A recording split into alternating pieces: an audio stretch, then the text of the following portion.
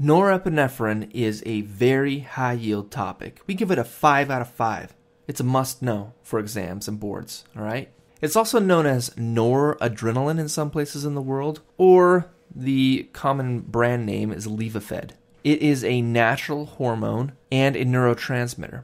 Natural hormone means that it's produced naturally in our bodies. It doesn't need to be synthesized in a lab or something like that.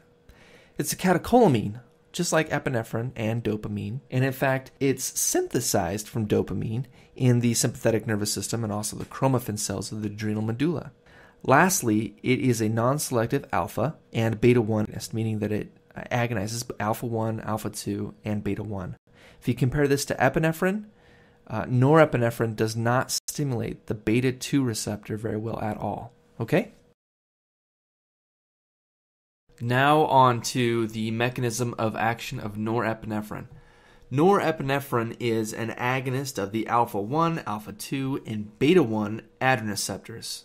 And if you were to break that down further, it would be more of a stimulant for the alphas than beta 1. So, physiologically, what does that mean? Well, that makes norepinephrine a great pressor drug. Let's talk about why and break down the effects of all three of these alpha 1, alpha 2, and beta 1. So, the alpha 1 stimulation causes the peripheral vasculature to constrict down very tightly, increasing the peripheral vascular resistance thus increasing the systolic and diastolic blood pressure. So now on to the beta 1 receptor. Well, so usually we see with a beta 1 stimulation an increase in the chronotropy, inotropy, and dromotropy of the heart. However, in norepinephrine's case, what we see physiologically is more an increase in the inotropy or the contractility.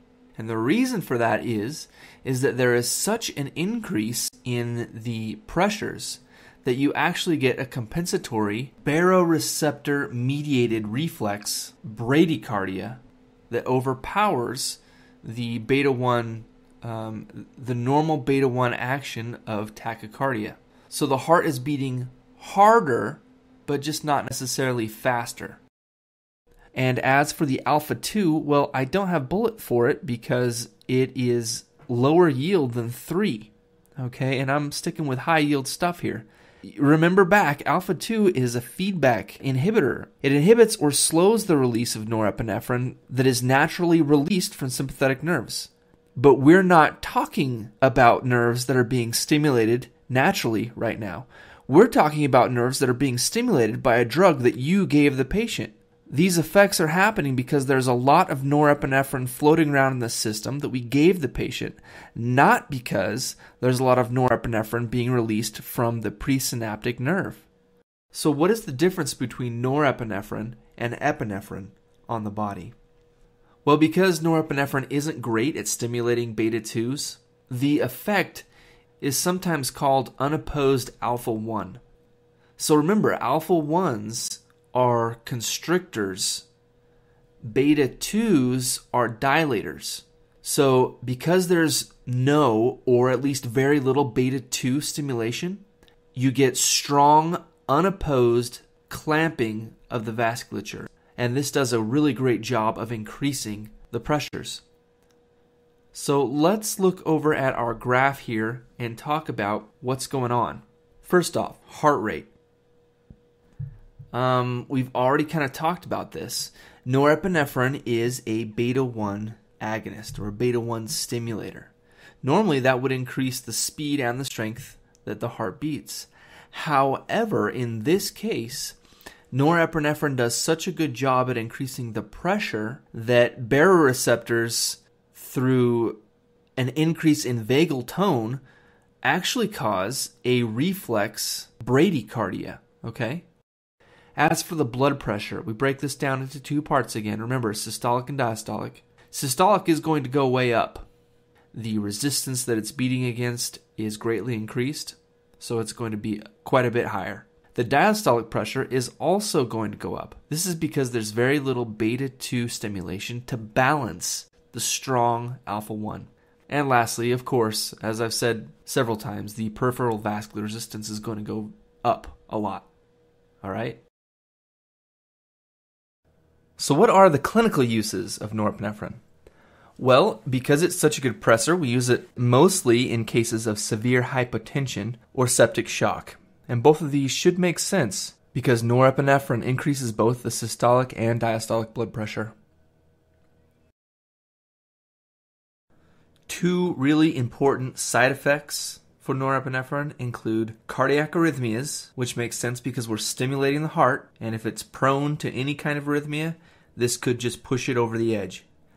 Also, it increases the risk of a myocardial infarction. And this is because we are increasing the workload, which increases the oxygen demand, and in a heart that perhaps has narrowed vessels or stenosis, this could just be the straw that broke the camel's back.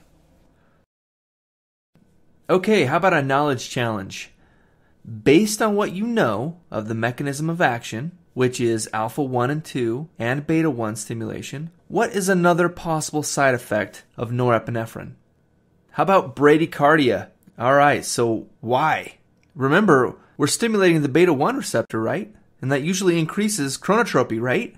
Yes. But remember, we are really increasing the blood pressure here. We're making the heart pump harder and we're pumping that blood through a smaller hole because we're clamping down the peripheries. That shoots the blood pressure way up.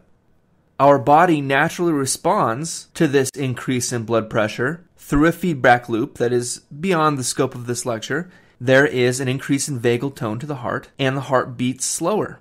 So, believe it or not, bradycardia is another possible side effect of norepinephrine.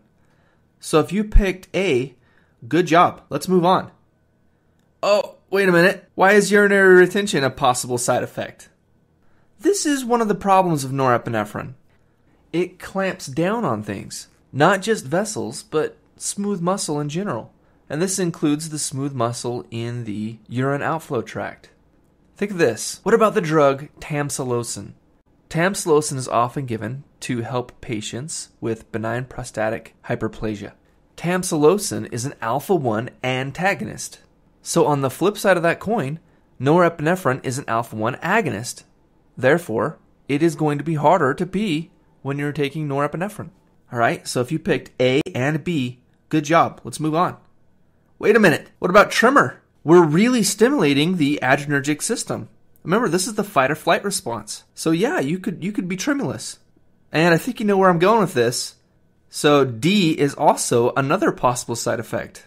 We're clamping down on things. And that includes small vessels in the toes and the fingers. So if you picked all four, good job.